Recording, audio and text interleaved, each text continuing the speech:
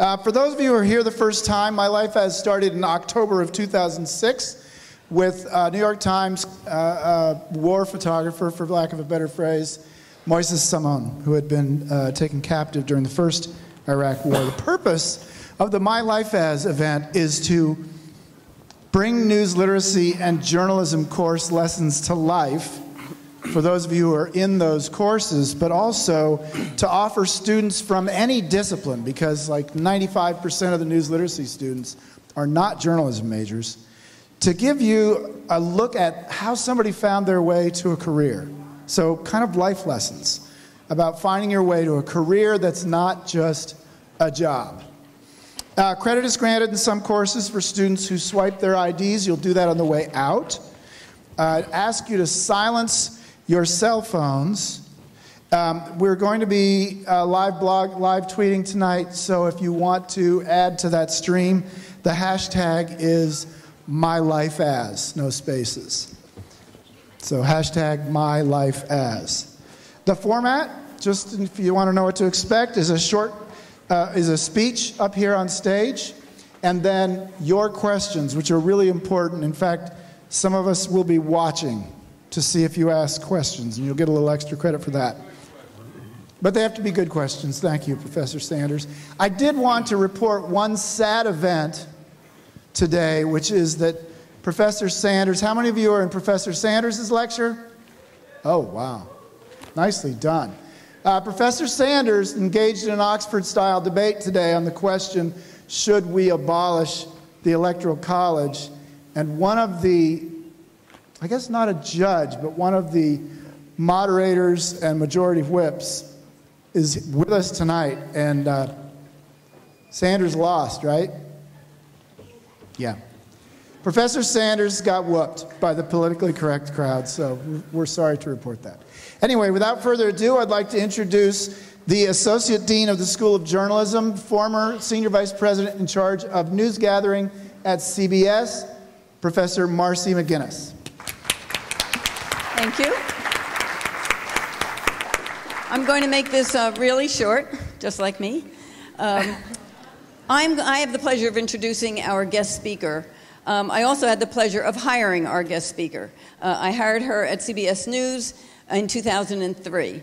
And it was a decision that I certainly uh, never regretted. I can tell you that uh, the day that I met Michelle, I knew that we had a winner. We had a driven, intelligent, charming, talented reporter, anchor, correspondent. And I can tell you that she is an award winning correspondent. She has won an Edward R. Murrow Award. She won an award for excellence from the National Association of Black Journalists. She is a role model. She is a friend. And it is my pleasure to introduce Michelle Miller.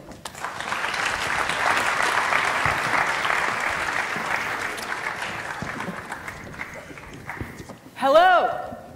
How y'all doing? I just want you to know she also made a bet that I would not come up those stairs without tripping and falling on my behind in these shoes. I am really overwhelmed. I'm impressed that in midst of finals and a DJ concert two doors over, that there's this kind of turnout. Or was this mandatory?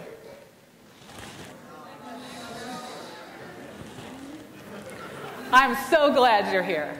Really glad. Can we turn the mic down just a tad, please?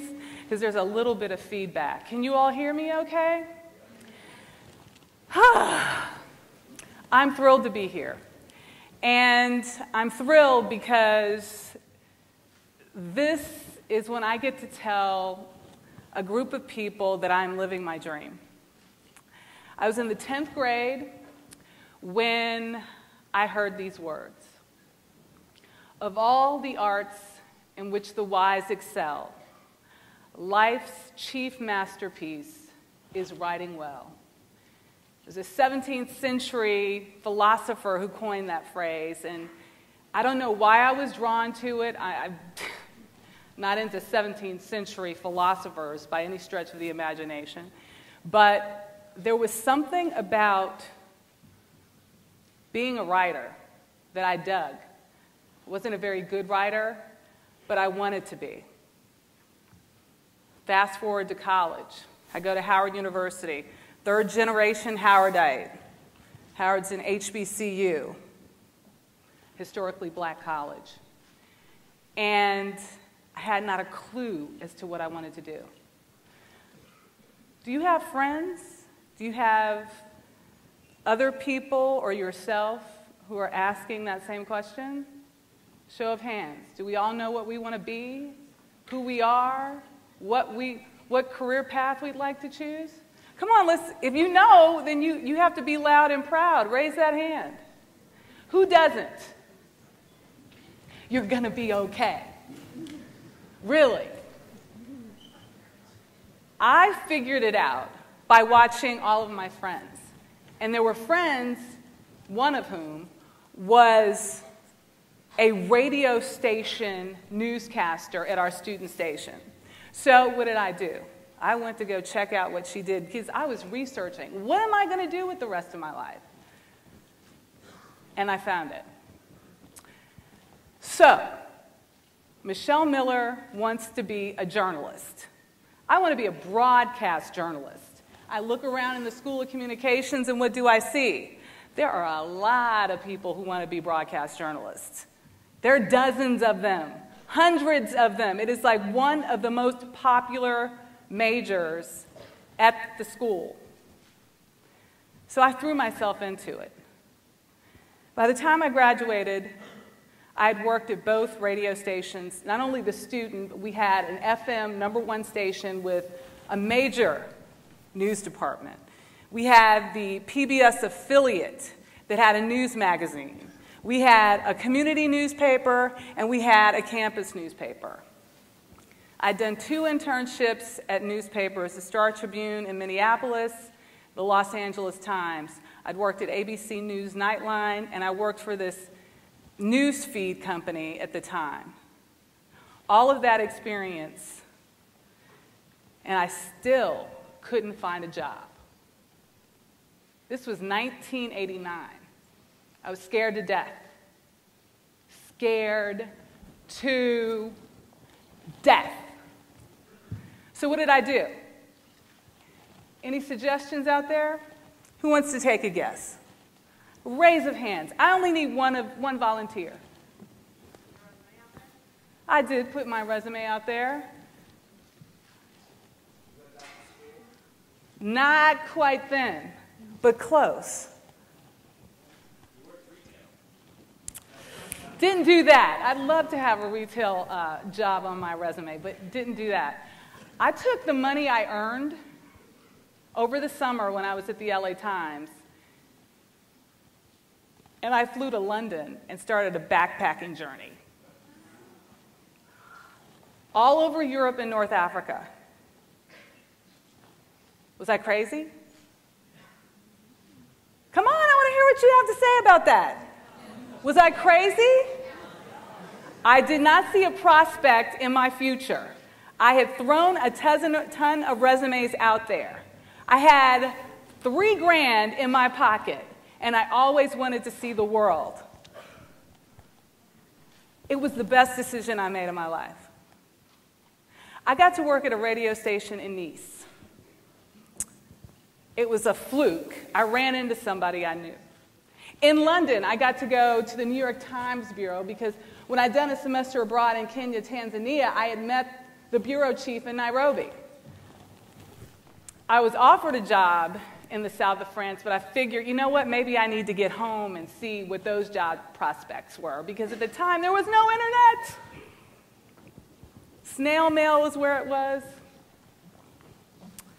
And it was thrilling because I had all of these amazing life experiences behind me. You know what happened when I got back? Any guess? No! Still couldn't find a job. But that's when I went back to the LA Times and I started saying, I'll do anything. And because I had left good enough impression, they started feeding me these $500 gigs. $500 went a long way.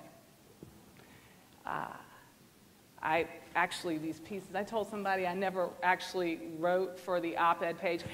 My pieces actually did run in the op ed page, but it wasn't, it was like a first person interview. So it wasn't like my opinion. So I, whoever asked me that question earlier, I, I stand corrected. Um, I went to the local access station and I started doing packages for South Central Community News. I'm from South Central Los Angeles. This was right before the riots. I got to know my community in ways that I never had before. I got to cover Nelson Mandela's visit to Los Angeles when he was released from prison. I got to cover Bishop Tutu's visit. I mean, I would never have been able to do that at one of the local stations as a cub reporter. I was paid, I think, $25 a story, a package. I didn't care. It got me a tape. There's one thing I'd like to tell you guys about me, in case you haven't figured it out. I kind of like put my life out there. I kind of, uh, what comes up comes out. I'm very honest about who I am and what I do and how I feel. And so when I'm talking to a potential employer or somebody, it all comes out. And I think that's a good thing in some respects. But it's often gotten me a job. I remember interviewing with a guy by the name of Jack Hubbard, Marcy. Do you remember Jack Hubbard? He was a longtime CBSer who, who gave me some advice on how bad my tape was. And I took it like a pro. I didn't get a job immediately, but I left an impression. So that three months later, he called me for this fabulous opportunity working at this place called the Orange County News Channel. How many of you know about New York One? You've seen it, right? Long Island 12, local 24 hour news. Well, they were popping up all over the place. When I got in there, one day a week I was a reporter, two days a week I was a producer, two days a week I was an assignment editor. I knew how to report, knew how to produce. The assignment editor part, never done it before in my entire life. I was the weekend assignment editor for a news operation, and I had to learn on the fly. You think I was scared? You think I was scared? Heck yes, I was scared. I was so scared, I didn't know what to do.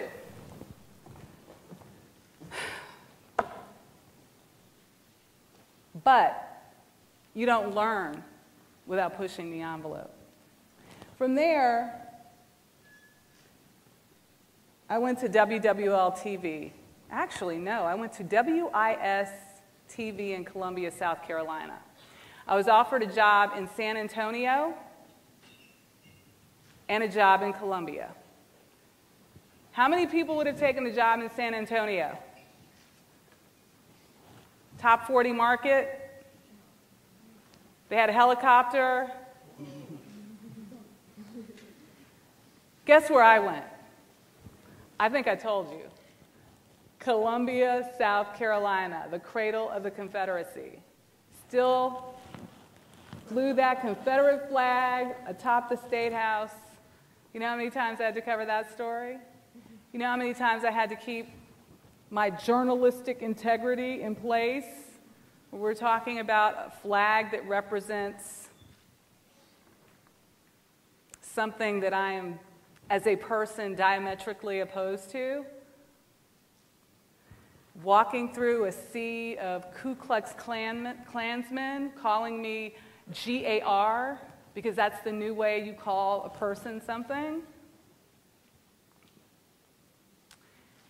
Having a conversation with a guy who could trace his ancestry back to uh, a general in the Confederate Army, a senator on the State House floor for South Carolina and understanding his point of view. that was when I realized, you know what? I'm open. I'm doing my job. I could actually understand where he was coming from in supporting his heritage.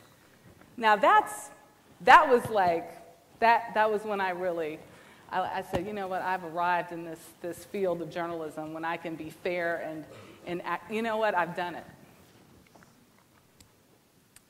Something else happened to me in Columbia, South Carolina, I have to tell you about. Because I think it's important for people to understand that with success comes failure. Like, I failed more times than you might imagine. I had major obstacles in the road. And I, my first the first time I was fired, well, the only time that I was fired, step on wood, was in Columbia, South Carolina. And it was involving a story and a little girl who was allegedly molested by a neighbor. And long story short, we shot it in a way where we thought we had disguised the, the identity of the mother and the child, and when it aired, people who knew her knew it was her. And she sued the station. Um, and so the producer of the show, myself, and the photographer, as a part of the settlement, we were all fired. At the time, I was looking for a job, even before, because my boss was someone who told me I would never make it in the business, that I didn't have what it took, I couldn't write worth a damn. He'd also told Brian Williams that sometime when he did work with him in Philadelphia. So, like, I actually feel like vindicated now. But you know who Brian Williams is, right? Well, that's good because you know who Scott Pelley is, right? Yeah. yeah. Well, Brian Williams is the anchor for the for the NBC Nightly News. Scott Pelley is the anchor for the fabulous news that is the CBS Evening News. But I just wanted to kind of point that out to you that he's doing all right, right? So I had been in New Orleans the day before I was fired, interviewing with a guy by the name of Joe Duke. Asked him a question in the interview Have you ever made a mistake? He told me what his mistake was. He turns to me, looks back, he says, Have you? And in a way that I am open and honest, I went on to explain what had happened without giving away any of the pertinent details because it was a lawsuit and uh, there was confidentiality issues. But I basically told him myself. I leave, I go back, I'm summarily dismissed in my boss's office what was actually also vindicating was at the same time that he was firing me, he was crying, and so was a human resources person. So I said, at least they feel good about firing me. I mean, feel bad about firing me. Um, um, and I just took off for Mexico because I'd always wanted to see Mexico, and you know, I needed to exhale, right?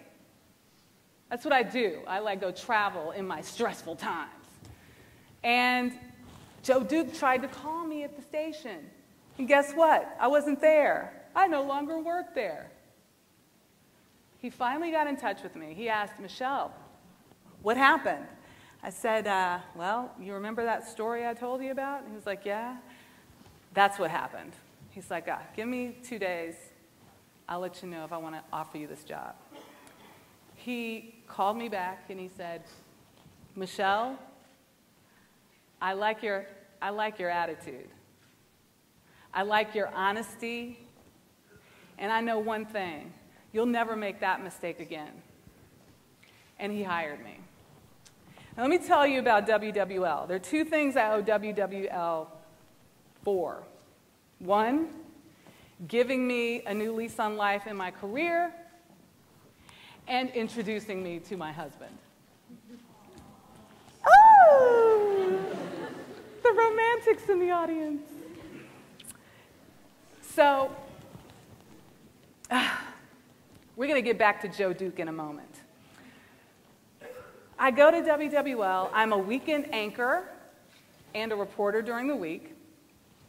one of my first assignments was to go down to City Hall and cover some like press conference the mayor was having.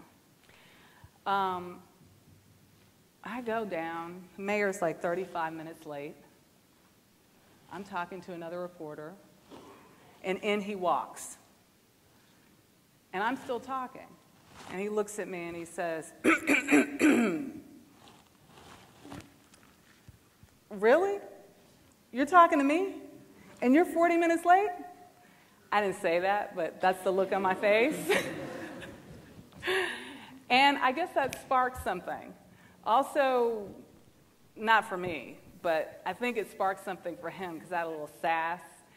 And I also lean on him when I was questioning him about certain things. There was even one story Marcy remembers hearing from Joe Duke that I swear I forgot, don't know why, but there's like this urban legend that I followed him into the men's room questioning him with a camera. I, I could never do that. Do you think I could do something like that?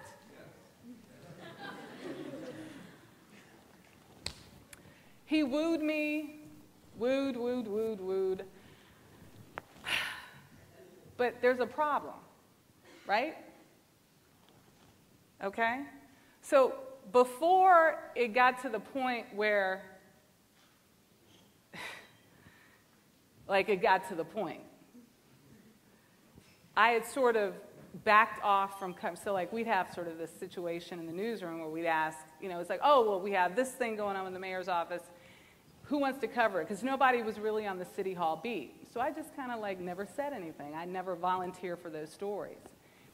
And then when Marc like wanted to officially date me, like go out on a date, because what would happen is I started using him as a source. This is how I got to know him.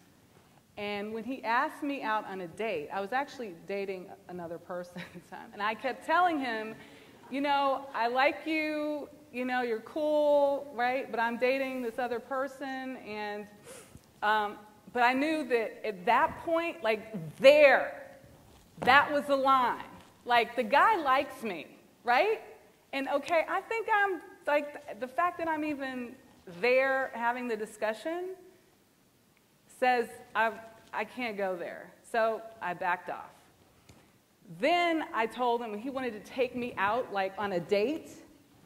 I said, okay, I got to do something. I got to go tell my boss, right? My boss was 80 years old, very, very brilliant man who was like one of those pillars in New Orleans. And walking up to his office scared the bejesus out of me. I was terrified, but I knew I had to do it. So I walked up to his office. I told him, Sir, I need to take you into my confidence. I'd like to start dating someone. I think it might be a problem. And he said, Would that someone be the mayor? I was like, uh, Yeah. He's like, If and when it becomes a problem, we will let you know. said, Okay. Can we keep this between us? Yes, Miss Miller, we certainly can. Now, I did that because, and maybe I'm going a little too in the personal realm, but, but I have to tell people this because it, it, you know, this is what set my like parameters of understanding what conflicts of interest were. I mean, I have like a super, super duper like understanding of like conflicts and, and what they are. And this established it for me. And um, at the same time, what if he dumped me next week? You know? Why would I want all of my newsroom colleagues to know that? So, for about two months, I think we dated, you know, in quiet. But my, well, I wasn't covering him. My boss knew about it. Anybody have a problem with that? Any of you longtime journalists have a problem with that?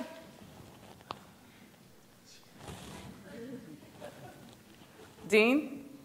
My publisher ran credit for Oh. I know about this. Good.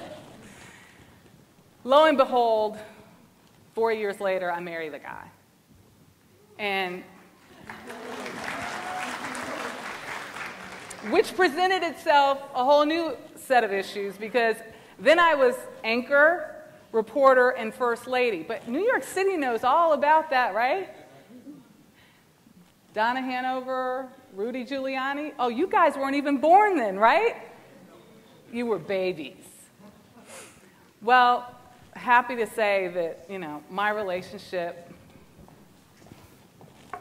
is still in good standing.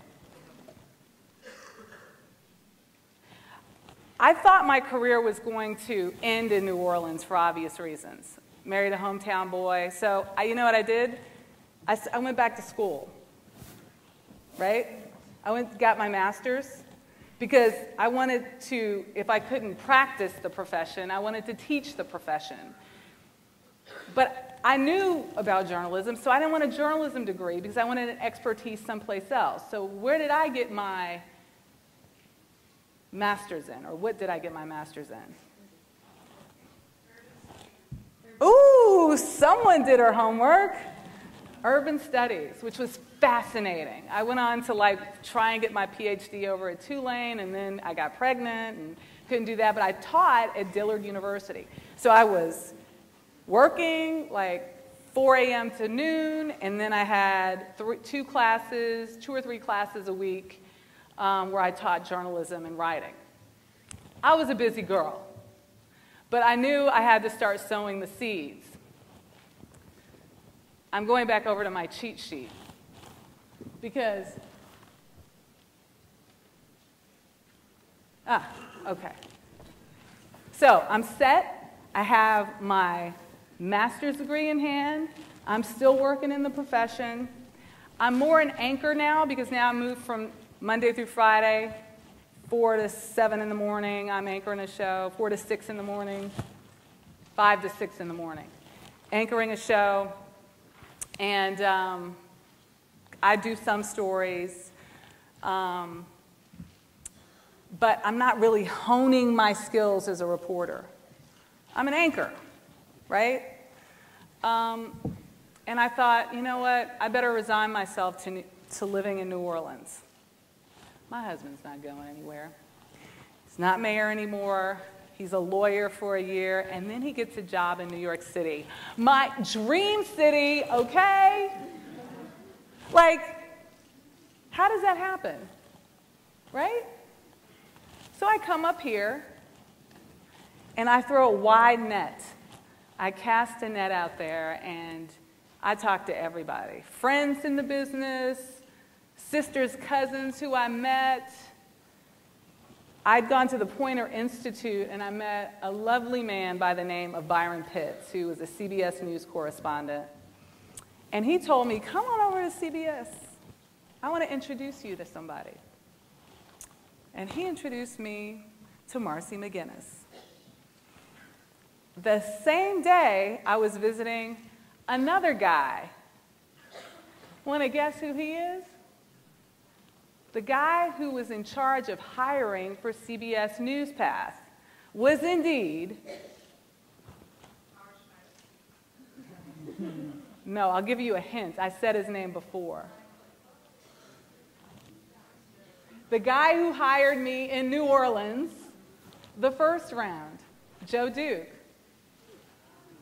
See how that like integrity thing like works out in my favor, telling the truth and being upfront and honest and having it like go getter attitude and you know I, I, mean i could stand here and talk about the journalistic science of what we do. But i think it's important for you to understand that the ethics of who you are and what you bring as a person to the profession are just as equally as important because they've helped bring me here.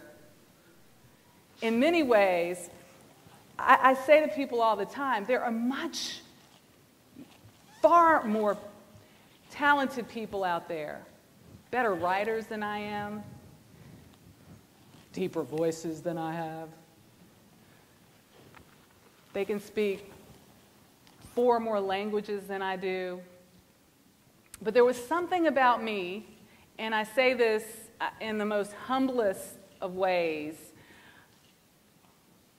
that spoke to the heart of the people who were trusting me with that spot. Does that make sense? When Marcy hired me, I was basically an anchor who had done some reporting. She saw something. I don't know what it was, but it was something. I'm sure Joe Duke's recommendation helped. I'm sure Byron Pitts' recommendation helped. There were a couple other people whose recommendations she also leaned on. It certainly wasn't my writing. I was an okay writer, but I was not a network level correspondent writer. A lot of us aren't quite there, even when we get there. That was a tough time. So I get to CBS News, the big time. I'm there a year, and I'm in a place called NewsPath, and I am working for BET Nightly News. It was a half hour long uh, news program that CBS produced for BET. I was the national correspondent. It was fantastic. It's my entree to New York City and the national beat for a national newscast. It was great.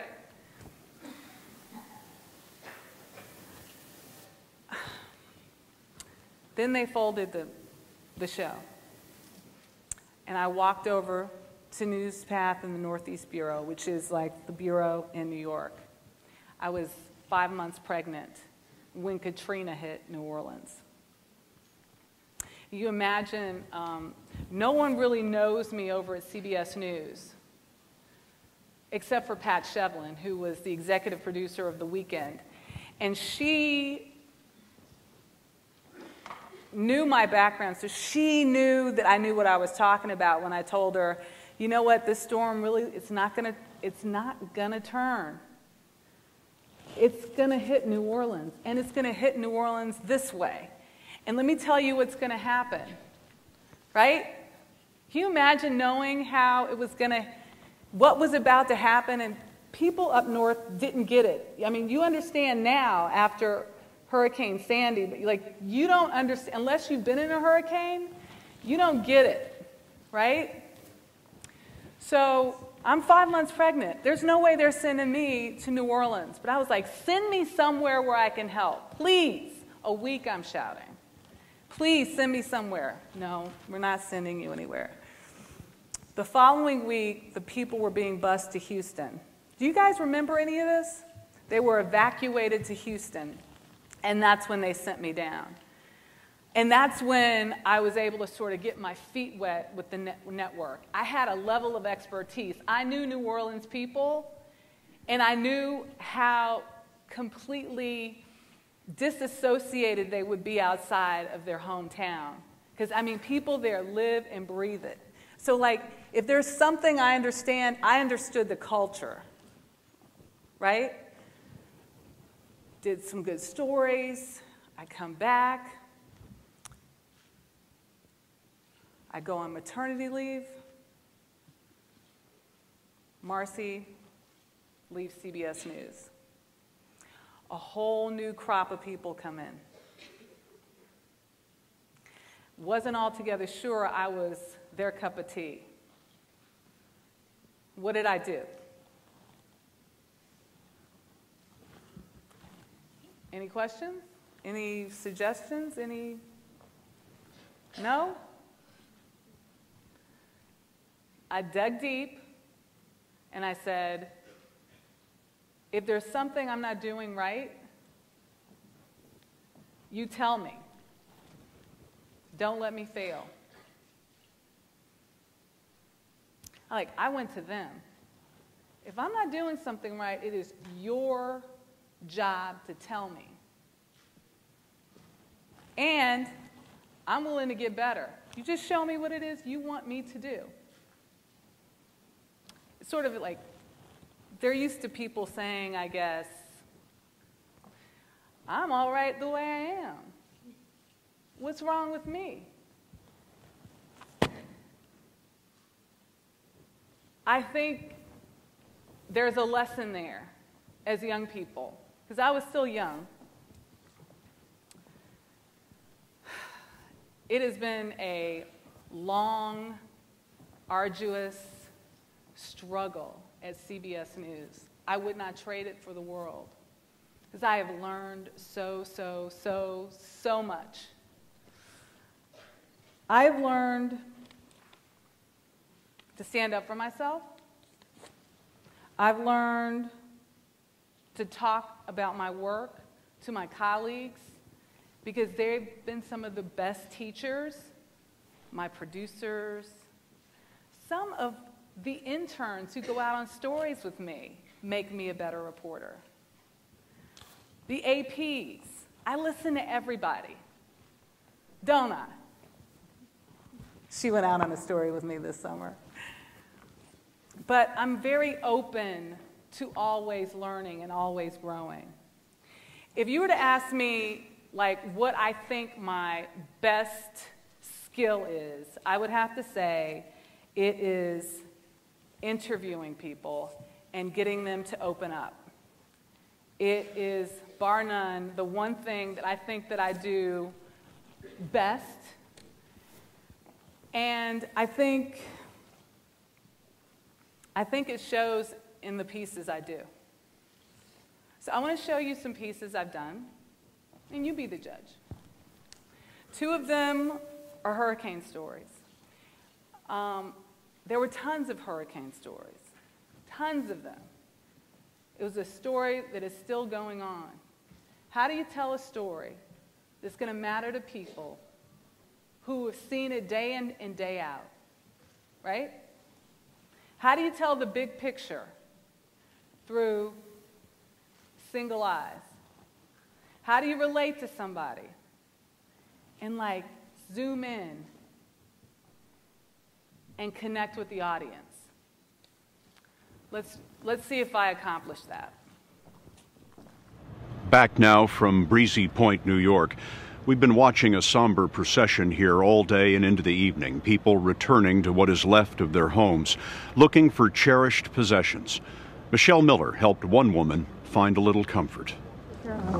In the middle of dust and ashes, we found a pair of flip flops worn by a 71 year old widow named Marie Lopristi.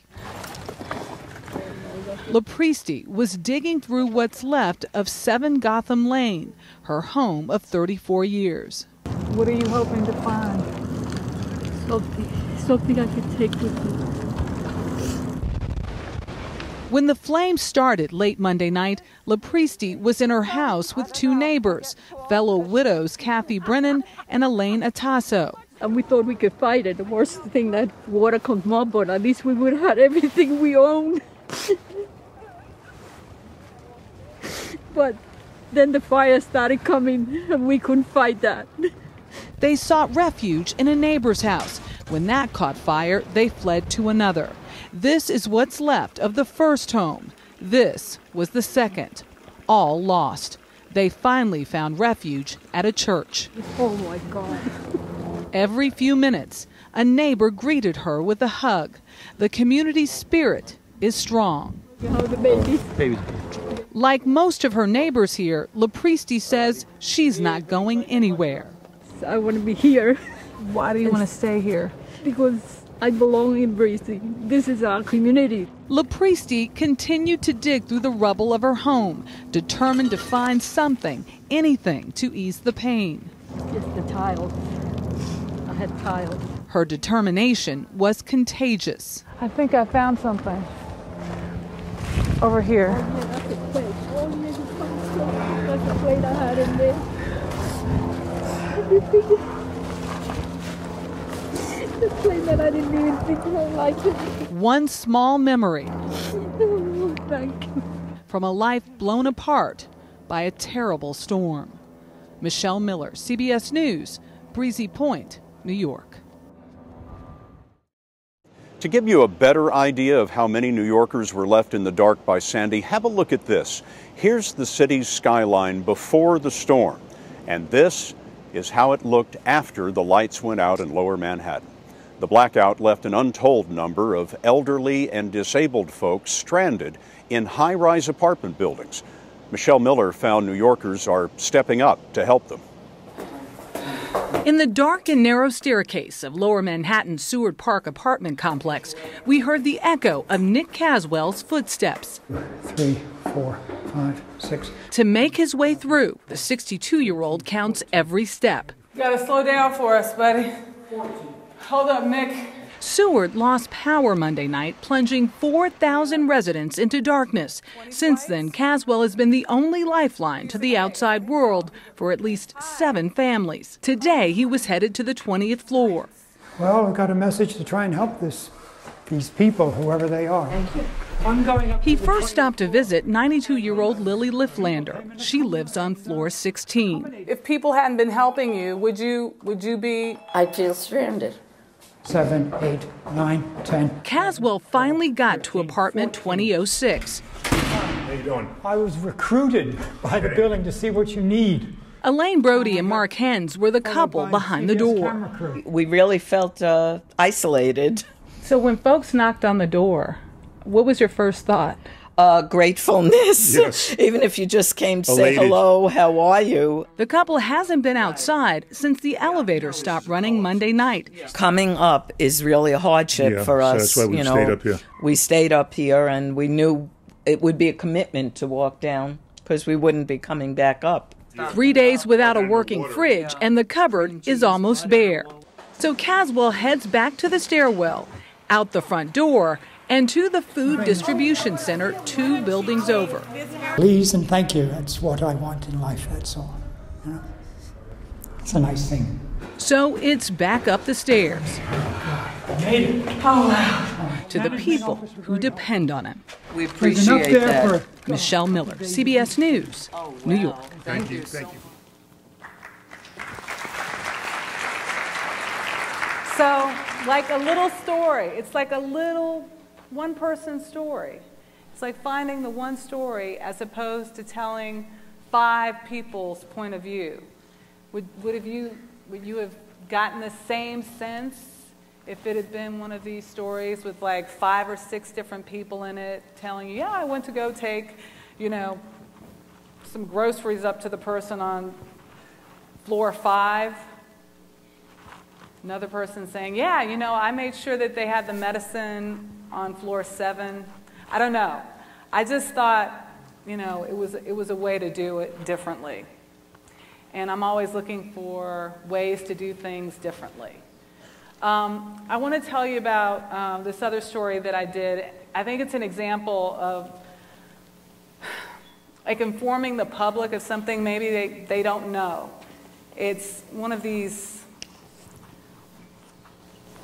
it's one of these stories it's hard to tell because unless you're going through it, you have absolutely no idea what it's like. And because it involves veterans, I think sometimes we, we, we close our ears off to it because, quite frankly, we're, we're fatigued by war. But I thought it was important, so I, I wanted to tell people about it. We want to close this broadcast tonight by noting the sacrifices made by servicemen and women and those sacrifices made by their families who also bear scars of war. Here's Michelle Miller. The guy that came back from Iraq was not at all the guy that left. Brannan Vines' husband, her high school sweetheart, was once the man she leaned on when times were tough. That all changed after Caleb returned from two deployments in Iraq. Caleb was injured in multiple IED explosions. He was not only dealing with PTSD, but he was also dealing with traumatic brain injury, which very much changes somebody's personality. And changes the person caring for them. Absolutely. Absolutely. Since 2007, Vines has been Caleb's sole caretaker, dealing with her husband's night tremors, erratic mood swings, and the physical injuries that have left him permanently disabled. At the same time, she's trying to shield her six year old daughter. Vine says it's left her with scars of her own. I was having nightmares about Iraq, a place I've never been, a place I've never, you know, other than in pictures and that kind of thing. I got to where I didn't like crowded places just like my husband. Um, it was all these sorts of things where literally I was almost mirroring his behavior. Brannan's behavior has been recognized by the Department of Veterans Affairs as secondary post traumatic stress disorder. Deborah Amdur runs the VA's program, which provides mental health services to caregivers. Although they didn't experience that initial trauma that injured the veteran, they are experiencing that trauma through being exposed to what the veteran has endured. Already, 6,000 caregivers have contacted the VA for help. It's us helping each other. Vines invited us to meet some who she met through the nonprofit she started five years ago called Family of a Vet, which provides education and resources to caregivers. It impacts the whole family. Kat Honecker cares for her husband, who was injured in Iraq in 2006. I had to pull the gun out of my husband's mouth, and for two years now, he has blamed me every single day for saving his life. Tori Shannon's husband suffered a head injury in 2004. I struggle because I feel like I'm not doing enough or I'm not doing everything the way I should be doing. I am a very strong and capable person who is of sound mind, but twice I tried to commit suicide. Through their shared struggles, these women are helping each other cope. Where do you go from here? We keep going. You know, it's all about learning new ways to handle it and figuring out how to stay together as a family. For these military families, the road to recovery is taking it one day at a time. Michelle Miller, CBS News, Daphne, Alabama. The last piece I want to show you, I know we're running out of time because we want to ask some questions, but I, I really, I'm a history buff. I mentioned that before. So important for us to know where we've been so we don't make the same mistakes that we've made. 22 years ago, New York City made a rush to judgment, and it forever changed the lives of five young men. Here's their story. It was a horrific crime. A jogger beaten, raped, and left for dead in New York Central Park. Five teenagers were tried, convicted, and sent to prison. The problem? They weren't guilty. Michelle Miller spoke with two of them and tells the story of a documentary that was released this weekend. In April 1989, a 28 year old white female jogger was raped, beaten, and left for dead in Central Park. The NYPD quickly accused five teenagers who were in the park that night. Four were black, one was Hispanic. Suspect Yusef Salaam was 15 at the time. The narrative that they sold the public was completely false. It was a case built on false confessions, but the story of interracial gang rape gripped a city whose crime rate had soared. They wanted to solve this case so quickly that they felt like the story of the five sound much, much better than there being one person. Suspect Raymond Santana was 14 help us understand why you confessed. We were 14, 15, 16 year olds um, who never been involved with the law, who never had a criminal record, who were very naive. And then you add in no food, no drink, no water, no sleep. And, um, and then you throw in the, the number one ingredient is pressure. But their statements were inconsistent. There were no witnesses and no DNA evidence against the five. The jogger had no memory of the attack. Still, two trial juries convicted them all. Salaam, Santana, and two other juveniles served seven years. A fifth defendant served 13. There wasn't enough skepticism. People weren't asking the right questions. Sarah Burns produced and directed a new film called The Central Park Five. She had help from her father, renowned documentarian Ken Burns, and her filmmaker husband, David McMahon. This is about these five men who were children and who were completely dehumanized. They had no voice. They were treated as animals. In 2002, after 13 years, an incarcerated serial rapist and murderer came forward with a true confession in the jogger attack, corroborated by DNA evidence. Courts agreed to throw out the convictions of the Central Park Five. Our records have been wiped clean, but the indelible scar of going to prison is still there. They were once registered sexual predators who couldn't get a job. Now 38, Salaam and Santana both work for hospitals and are fathers. I don't know, you know, what will be in my future. Got to put one step forward and move on. A lawsuit against the police and prosecutors behind their wrongful convictions is pending, but they say no amount of money could give them back the years they lost. Michelle Miller, CBS News, New York. The civil lawsuit that's been filed itself has become part of the story. New York City wants the filmmakers to turn over their raw interviews. They refused, citing their rights as journalists to protect their sources. And what was so telling about that story is one of my colleagues, um, who's an avid jogger, who's an avid jogger, says, yeah, she every time she jogs by Central Park, she thinks about that woman, and she thinks. One of the boys who was killed, 16-year-old Danny And and she she she says, I think about that case all the time. She said, but I never, after all the press it got, she never realized those five kids, now adults, had been exonerated. Never. So, all the press, all the media that vilified these young men, I mean, in covering what was happening in terms of um, what the prosecutors were doing, and the op ed pages and so on and so forth. I didn't live here, I lived all the way in Los Angeles, and I remember this case vividly. The same was not done when the exoneration happened, it didn't erase the memory of what had happened. You know, I mean, I, I, that's chilling to me that these guys are still fighting for their reputation.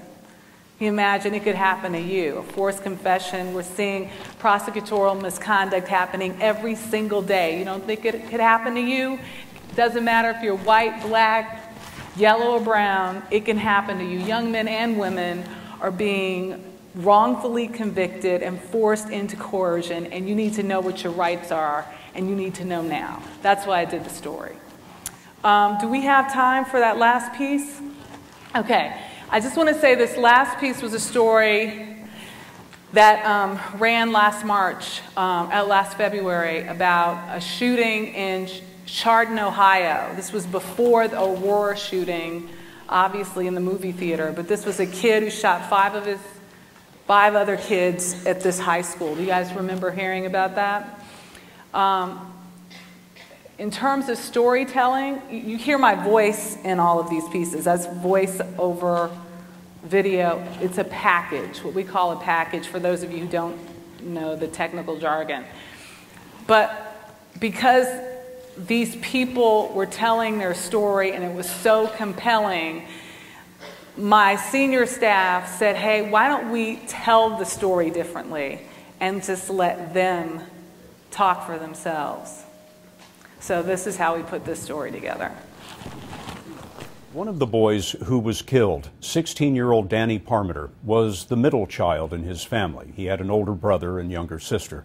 He studied computer science, and his parents say that there was no question that he couldn't answer. Michelle Miller spoke with Danny's mother and father, Dina and Bob Parmenter, today, and Danny's older brother, Dominic. They told Michelle that they wanted a chance to talk about Danny. When the Parmenters sat down for the interview, they were wearing Danny's clothes. Mrs. Parmenter is a nurse, and she says she heard about the shooting while driving home from the night shift. And I turned on the radio, and they were talking about it, and I, I had a sick feeling in my stomach. I didn't know why, and I, I did. I really did, and I was scared for him. I don't know why. I just tried to call him. Nothing. He didn't answer, and I left a message. Daddy, it's mom. Call me back. It was a call, and it had Daddy's picture on it on my cell phone. So I said, "Oh, he's calling me." It was commotion, and it was some the Kirtland fire chief or something. I don't know. And he said, "Danny is being life flighted to Metro Hospital right now. You have to go to Metro." I said, "I want to talk to him. Let me talk to him." Well, they're still doing CPR on him. His tube down his throat. He's bloody. Don't sit on the end. We were yelling at him. Fight. Fight. Fight. he, Right. he tried. He did. He, He did. tried. He did. He said, "Don't go, Danny. Don't go." The guys don't. Don't go, Danny. I love you. Stay, fight. But he, uh, he fought. But he just didn't. He just didn't have no brain waves left. Would you ever have imagined being in a funeral home, planning his funeral? Think about coming to a funeral home, picking out a casket. What is that? Picking out a casket for your son? You were supposed to go and pick out colleges. We're supposed to go visit Ohio State next month. I'm mad now. I'm mad. I know my life will never be the same again. No. I will get better. But right now, I'll never be, there'll always be something missing. How do you want your son to be remembered? He's a funny, Mm-hmm. lovable kid that will help you with anything.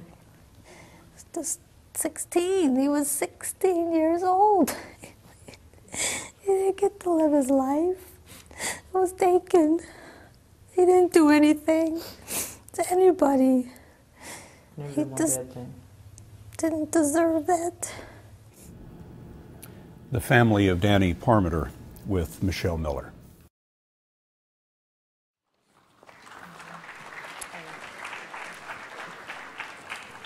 So now I think is the time when you get to grill me. Any questions?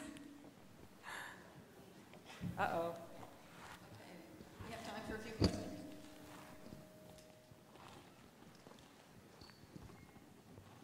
Uh, when you're narrating over the, uh, the footage, why do you guys, as in like the reporters, why do you guys speak the way you guys do? You mean with a fake voice? what do you mean? You mean like You, you were like, uh, um, uh, this building was the one. No, it's like this is the first building. You know, uh, Marcy, why do we talk like that? We're all trying to train in this reporter voice thing. Yes, it's it's kind of um, you know sometimes we go to voice coaches and they, I think we're, I- I think I'm part of the last breed of people who talk like that, sort of. Probably not. Although you went through many obstacles um, through your career, when did you finally feel settled? At what I still don't where- feel, I do not feel settled now. I was telling someone um, that, you know, when I was in college, she says, What would you tell your younger self? And I said, I would tell my younger self that you were never settled, that you were, it is always a struggle, that no matter what level of success that you've reached, can you like exhale and say, I have arrived? I mean, you can say, I've arrived, but I gotta keep marching on that mountain, you know, I gotta keep How old were you when all this started?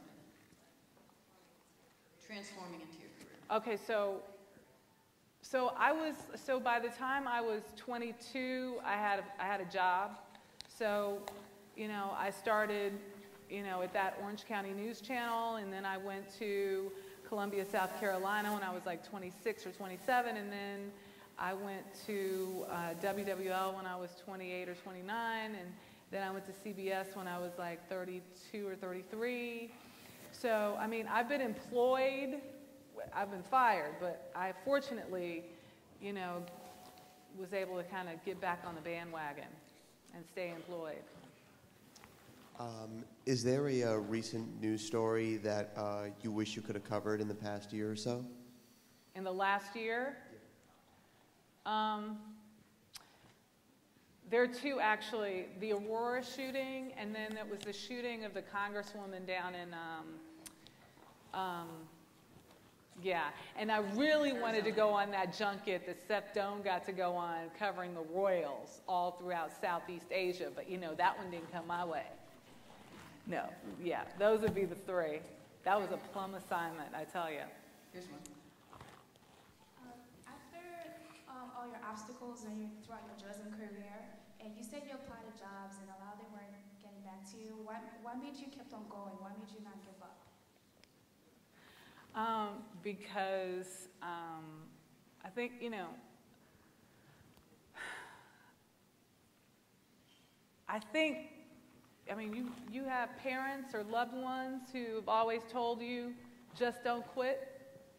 My dad used to remember, there was this like, there was like, you know, like you've heard of that, that poem Invictus, right? There was some other poem my, my dad used to always recite, and he said, it was, the, the last line of it was, just don't quit. Just don't, and like, I can't memorize, I need to go back and find that, but my father was never a quitter. My, my grandmother, you have to understand the, my history. My grandmother graduated from college in 1916. She was an African American woman from Dallas, Texas, who traveled to Washington, D.C. to go to college in 1912 by herself, who then married, helped her husband get his master's degree in Boston. They moved to East St. Louis and raised two kids and sent their two kids to college and a third neighbor they paid for to go to college. That neighbor became one of the leading surgeons in the country, and so did my father. My father went to the South to get his training. I remember the first time I went and I asked him after I'd been at college and I learned about the black diaspora because, you know, they don't really teach or they hadn't taught African American history the way they should in school. And I said, Daddy, did anyone ever call you the N word? And he's like, Sure, all the time. It's like, Daddy, what did you do? He looked at me in the most stern voice and, and, and he said to me, I did absolutely nothing. Because I had a goal and I was not going to let anybody deter me from it. So if my father and my grandmother can withstand the level of racism, pushback, and BS that they dealt with throughout their entire lives, surely I could overcome somebody telling me I wasn't going to make it in the business. We don't have a job for you. I mean, that's like, we have it easy. And every single one of us, whether you're black or Hispanic or white, you know what? We have it easier than our parents did. I'm sure you can go back in the histories of your family and figure that out as well. You know what I'm saying? Everybody has a story that's similar to the one that I told in some way, shape, or form. You dig deep and you keep moving forward. Um, first of all, thank you very much for doing this. Oh, thank you. And um, I had a question. Earlier, you said that you were very open to, um, well, always looking for ways to do things differently. Mm-hmm. Could you give us any very recent um, examples of you know trying something new or doing something different in your journalism or reporting? Well, um, the, the Marie Lopristi hurricane piece, the one with the lady in the plate, that was different um, in that, like, I really struggled with, like, because, you know, I'm, I'm, like in there with her. I mean, usually we tell a story and the, the, the correspondent's not in the story. You're telling the story. So I, was, I, really, I really struggled with this story because I kept saying to myself, You're in it, you're making the story, you're in it, you're in it. But it wasn't like I, I you know, we don't want to stage something. But in the course of following her through her story, she like sort of engaged me. I mean, she was about to fall into that. You saw what she was stepping. And I, the day before, I was telling someone the day before, I was at that location doing a story, and I was walking around like she was, and literally fell into, it wasn't quite this high, but like a crevice into like like a foot of water and, and like cut my hand. I had to have a tetanus shot. So it was fresh on my mind this woman could get hurt. So that's why you kind of saw me like, so, but I was struggling with that, right? And I was struggling with like everything. I was said, okay, I'm in the piece. She wants me to turn this over. You saw she was pointing. She said, go get that. And, and then when I saw the plate, I was like, oh gosh, how do I do this? And I can't stage it. So however it happened had to happen. So I saw it, so I had to be the one to say, hey, I think I've. So, I mean, that was a whole different experience for me. And fortunately, it worked out, and people, I mean, it was a fine line, right? It was a really fine line, and I struggled with it, but it's like one of those times where it, like, you know, it happens and it makes sense. Does that make sense? Okay. Uh, hi. Uh, Hi. Thank you, thank you for coming. Thank you. so You're so polite. I love this. Um, when you're doing, especially these stories that have very like sad stories, uh, sad backgrounds to them. How do you how do you play that line between being this very separate reporter and being this friendly, open woman who like is like curious about their lives, who sort of wants to be their friend? Like how do you how do you make them understand what you are? See, I, I, on this on this hurricane piece, I mean, on the hurricane stories, I think I failed miserably. There was just no way not to be touched by. The, I, I remember one of my favorite correspondents, Lee Cowan, during the, during the Hurricane Katrina situation. He went around in a boat, and there was a. Um, he found a guy who was stranded in a flooded area after being in the hospital. So all he had was the hospital robe on, you know, the one where you can see the, yeah. And um, he pulled him into the boat, and you could tell, I mean, he was just absolutely wrecked by it. Do you remember that piece? I so remember that piece. And you know what? We're human beings too. We feel. I mean, I don't know if you saw there, like, I'm so glad the cameraman zoomed in because I literally started crying. I was like this close to just, when she broke down, I broke down. I, there, sometimes you can't, there is, you feel. You just do. Now, would I have cried if, you know, Barack Obama had lost? Would, would, would that be crossing the line in the middle of it? Yeah. You know, or if I were a Romney, you know, uh, supporter, would, would I have, like, you know, been up in arms like he lost? Oh my gosh, I can't believe. You know, no, that's, that's really crossing the line.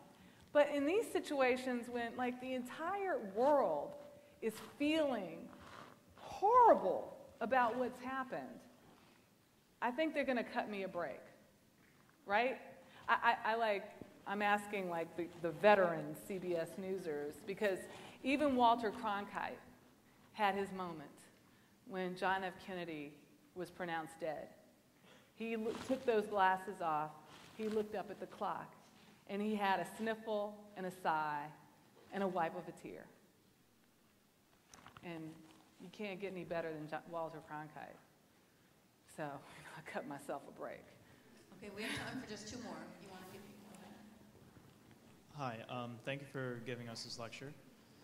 Thank you. Thank you for having me.